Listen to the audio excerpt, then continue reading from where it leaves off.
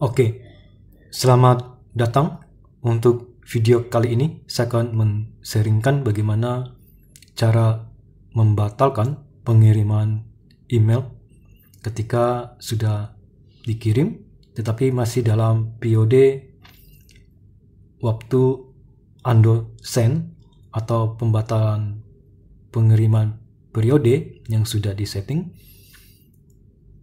serta bagaimana cara kita mengatur durasi atau period time untuk pembatalan pengiriman atau undo send. Untuk lebih detailnya, kita akan masuk ke Gmail. Misalkan kita akan mengirim sebuah email. Ini contoh.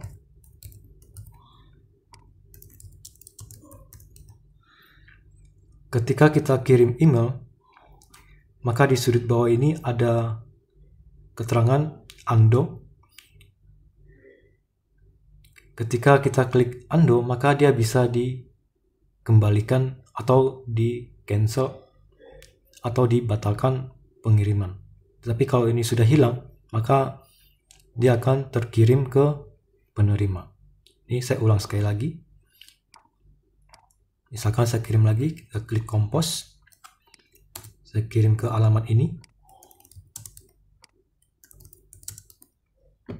Misalkan saya klik send, kemudian saya pilih undo, maka pesan ini akan di cancel atau tidak jadi dikirim dan akan kembali posisi seperti ini. Dan dia akan masuk ke draft. Oke, sekali lagi. Misalkan saya kirim lagi satu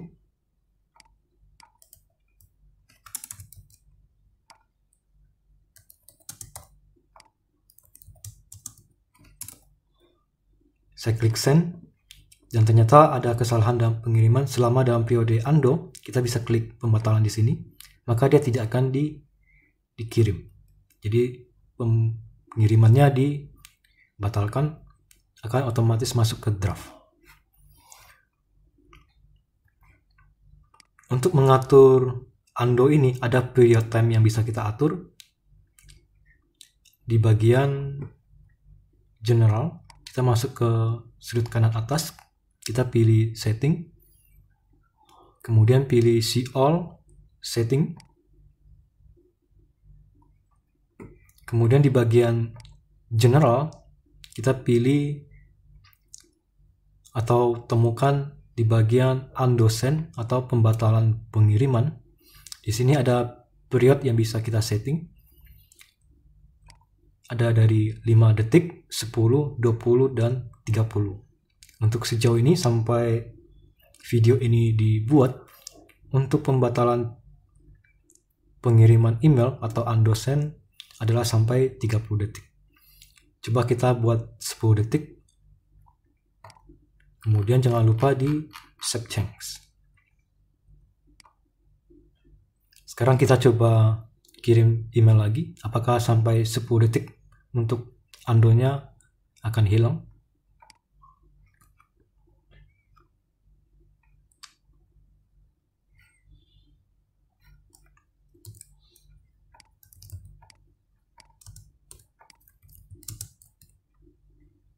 Oke, saya present.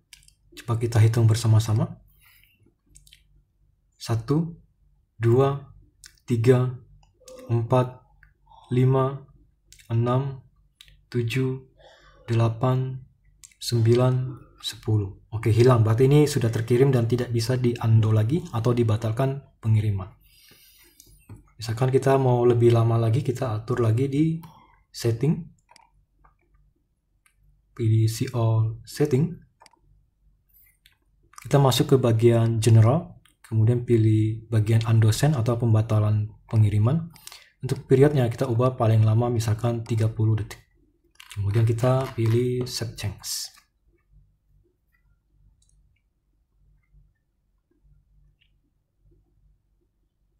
Kita coba kirim lagi. Compose.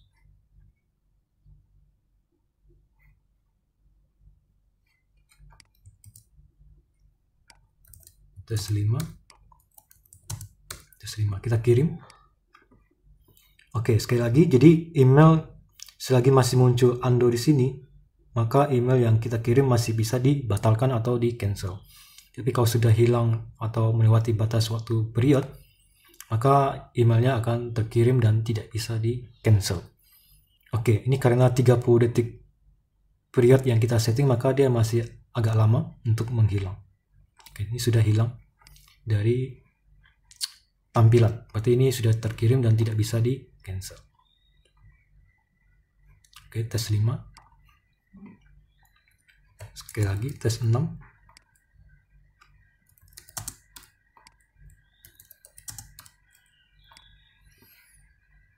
kita undo maka dia tidak akan dikirim. Kembali ke posisi ini dan masuk ke draft.